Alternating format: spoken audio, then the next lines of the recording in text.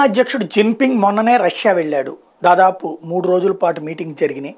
ఏమేం జరిగిందన్నది బయట పెట్టలేదు. బట్ ఆయుధాలకు సంబంధించి పెట్రోల్ డీజిల్కి సంబంధించి ఇవన్నీ మరిన్ని ఒప్పందాలు చేసుకున్నారు అని చెప్పుకొచ్చారు. అదే సందర్భంలో చైనా రష్యా ఉత్తర కొరియా ఆ, ఇరాన్ కలిసి ఒక సైనిక కూటమిగా నాటోలాగా ఇక్కడ ఏర్పడతారన్నటువంటి ప్రచారం జరిగింది. దాన్ని తోసిపుచ్చింది చైనా. ఆ తర్వాతన చైనా రష్యా కలిసి ఒక సైనిక ఒప్పందం చేసుకున్నారు. ఒకళ్ళకి ప్రాబ్లం వస్తే ఇంకొకళ్ళకి అన్న పని అనే చర్చ జరిగింది. దాన్ని భారత్ రష్యాని అడిగింది. అలా జరిగితే ప్రమాదం మేము అంగీకరించలేం మీతో అని. లేదు లేదు మేమిద్దరం సైనికపరమైనటువంటి ఎట్లాంటి ఒప్పందాలు చేసుకోలేదని భారత్కి సమాధానం చెప్పింది రష్యా. అయితే ఇప్పుడు తాజాగా ఉక్రెయిన్ అధ్యక్షుడు జెల్నెస్కీని ఆ రోజునే వర్చువల్గా మీట్ అవ్వాలని చెప్పేసి ప్రయత్నించాడు చైనా అధ్యక్షుడు. కానీ వర్చువల్గా మీట్ అవ్వడానికి ఉక్రెయిన్ అధ్యక్షుడు ఒప్పుకోలేదు. ఒప్పుకోకపోగా చైనా అధ్యక్షుడు జిన్పింగ్ని అక్కడికి రమ్మనమని పిలిచాడు. ఉక్రెయిన్కి రమ్మనమని పిలిచాడు. ఏదైతే శాంతి చర్చలు అని చెప్తున్నటువంటి చైనా అధ్యక్షుడిని తన దేశానికి రమ్మనమని పిలిచాడు. దీన్ని వెంటనే చైనా వ్యవహారానికి సైతం రష్యా తోసిపుచ్చింది.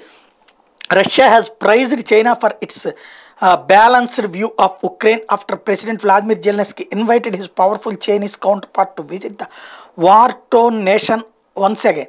In an interview to news agency Associated Press AP, Zelensky said that he wants to speak to Jinping as the talks had not taken place since Russia invaded Ukraine.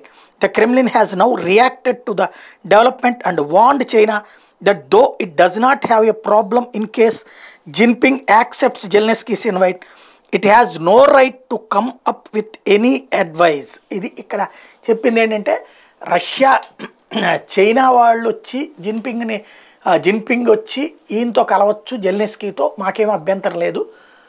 ఎందుకంటే Zelensky పిలుస్తున్నాడు కాబట్టి శాంతి చర్చలని. కానీ ఇప్పుడు జరుగుతున్నటువంటి పరిణామాలు Ukraine మీద మా సైనిక ఆపరేషన్ చైనా కూడా ఆపలేదు.